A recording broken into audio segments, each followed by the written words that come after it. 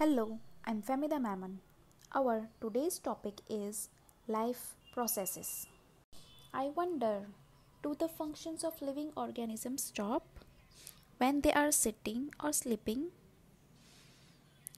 Living organisms perform functions like synthesizing proteins and growing while they seem to be doing anything specific. The processes that help in carrying out metabolic functions of living organisms are called life processes. In order to perform these life processes, living organisms need energy. This energy is obtained from food. This entire process of obtaining energy from food is called nutrition. The nutritional processes of living organisms are decided by how complex the organisms are. Plants and the few bacteria use inorganic substances to prepare their food in the form of organic compounds. So, they are called autotrophs. The process of nutrition in autotrophs is called autotrophic nutrition. Fungi and animals cannot prepare their own food and directly or indirectly depend on autotrophs for their food. Such organisms are called heterotrophs, and the process of nutrition in heterotrophs is called heterotrophic nutrition.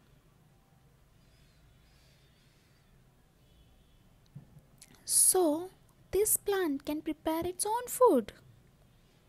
That's right, the plants prepare their food through photosynthesis. The process of using energy and sunlight to convert water and carbon dioxide into carbohydrates and oxygen is called photosynthesis. Let's look at the basic raw materials to perform photosynthesis. Sunlight acts as a source of energy. Carbon dioxide is obtained from the atmosphere. Water is absorbed from the soil by the roots of plants. Leaves have tiny pores on their surface called stomata. Stomata let in the carbon dioxide from the atmosphere. The carbon dioxide then diffuses into the cell organelles called chloroplasts, which carry out photosynthesis. Let's take a closer look at these stomata. If the stomata are open all the time, the plant may lose large amount of water through them. To prevent this, the stomata are opened only when the plant need carbon dioxide for photosynthesis.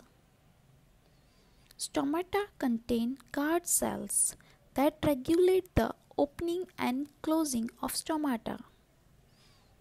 When water flows in them, the guard cells swell and open up the stomata.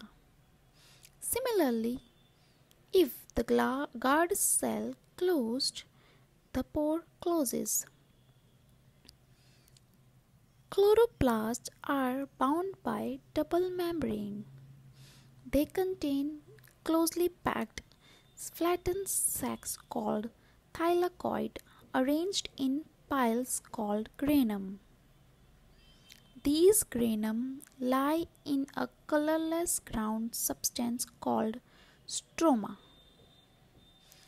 Thylakoids contain a pigment called chlorophyll, which traps solar energy.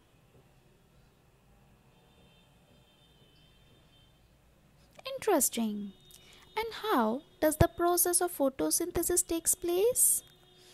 Photosynthesis involves a series of photochemical reactions that consist of two phases light and dark reaction. Light reaction takes place in the thylakoids of the chloroplast. Dark reaction takes place in the stroma of the chloroplast. The energy carriers involved in photosynthesis are ATP, adenosine triphosphate, acts as an energy carrier. This phosphate group in ATP breaks up, releasing ADP and phosphate and energy. NADP is nicotinamide adenine dinucleotide phosphate which is used as an electron carrier. NADPH is the reduced form of nicotinamide adenine dinucleotide phosphate that serves as an energy carrier. As the name suggests, light reaction takes place in the presence of sunlight. Using light energy, water molecules split up to release oxygen. The chlorophyll in the thylakoids of chloroplast traps the light energy and excites an electron. This excited electron converts light energy into chemical energy and this chemical energy is stored as ATP and NADPH. Thus, light reaction produces the energy source ATP and NADPH but not the food. Dark reaction takes place in the stroma of chloroplast by reducing carbon dioxide to carbohydrates, utilizing energy from ATP. It can take place with or without the presence of sunlight. Hence, the name dark reaction. By the end of dark reaction, plants prepare glucose.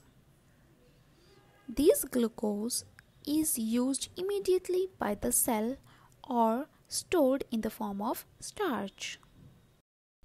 Water is another important raw material required for photosynthesis.